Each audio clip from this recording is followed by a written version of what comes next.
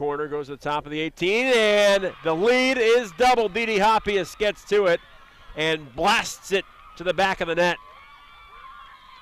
The span of about a minute and a half.